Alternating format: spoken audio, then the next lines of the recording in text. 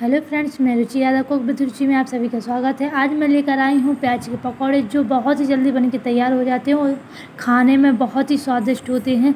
तो वीडियो शुरू करने से पहले फ्रेंड्स, आप सभी से निवेदन है कि अगर मेरी वीडियो आपको अच्छी लगे तो प्लीज़ मेरी वीडियो को लाइक, शेयर और आपके अपने चैनल को रुचि को सब्सक्राइब करना ना भूलें। प्याज के पकौड़े बनाने के लिए यहाँ मैंने कुछ सामान लिया है तो आपको सामान दिख ही रहा होगा। तो यहाँ पे मैंने एक कटोरी बेसन लिया है। आप किसी भी कटोरी से इसका मेज़रमेंट रख सकते हो। यहाँ पे मैंने दो बड़ी चम्मच से आटा लिया है, चावल का।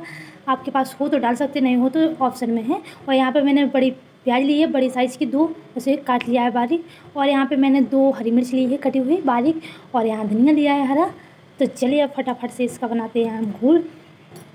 तो एक बढ़िया सा बैटर बना के तैयार कर लेते हैं। तो इसमें जाएगा सबसे पहले बेसन। तो मैंने बेसन को डाल लेती हूँ फटाफट से। और इसी के साथ जाएगा। तो यहाँ फ्लेवर के लिए जाएगा मसाले। तो मैंने यहाँ पे आधी चम्मच लाल मिर्च लिया है और एक चौथाई चम्मच यहाँ मैंने हल्दी पाउडर लिया है। एक चम्मच यहाँ पे मैंने धनिया पाउडर लिया है। एक चुटकी मैंने यहाँ पे हींग ली है। और यहाँ पे मैंने अजवा ली है। इसे बढ़िया सा किस करके डाल देते हैं। यहाँ पे स्वाद अनुसार जाएगा नमक। चलिए थोड़ा थोड़ा सा पानी डाल के इसे हम बढ़िया सा बैटर बना के तैयार कर लेते हैं।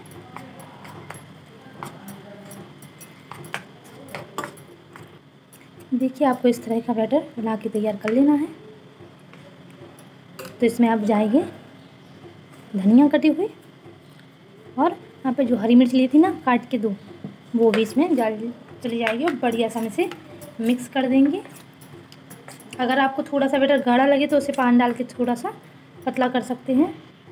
देखिए, आपको एक बार मैं गिरा के दिखा देती हूँ। इस तरह से आपको बेटर रखना है। तो चलिए चलते हैं गैस की तरफ़। यहाँ पे मैंने ऑलरेडी पहले से कढ़ाई रख दी थी, उसमें तेल डाल दिया है। तेल भी गर्म हो गया है। तो चलिए अब बनाना स्टार्ट करते हैं पकौड़े। तो आपको देखिए इस तरह से डाल लेना इसे डब करके। इसे बढ़िया सा मिक्स कर देना है। देखिए आपको इस तरह से डाल लेना है और ऐसे इस तरह से आपको बैटर में डब कर लेना है। आप चम्मच की सहायता से भी कर सकते हैं, पर हाँ मुझे हाथ से डालने में ज़्यादा अच्छा लग रहा है।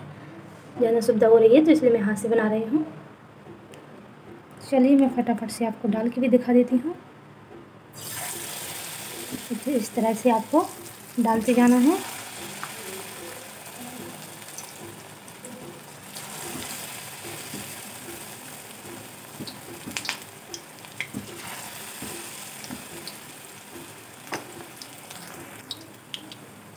तो आपको फटाफट से इसे पलट देना है बढ़िया सा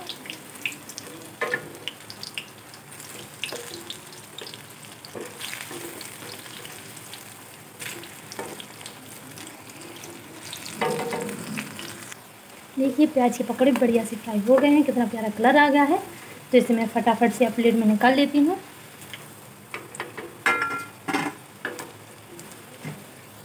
इसी तरह से मैं दूसरा बैच भी फटाफट से तैयार कर लेती हूँ।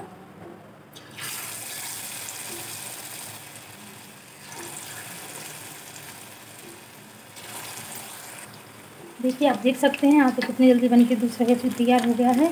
तो बहुत ही सिंपल होते हैं, प्याज के पकौड़े बहुत जल्दी बन के तैयार भी हो जाते हैं। बहुत ही कम समय लगता है। आप भी ज़रूर इसी तरह से बनाइएगा। यहाँ पे आप देख सकते हैं, सारे पकौड़े बन के तैयार हो गए हैं, कितनी जल्दी बन गए हैं, पता ही नहीं चला। तो सुबह का बहुत ही जल्दी बन जाने नाश्ता है। तो आप भी ज़रूर इसी तरह से बनाइएगा। मुझे ज़रूर बताएँ कमेंट बॉक्स में कि आपके पकौड़े कैसे बने हैं।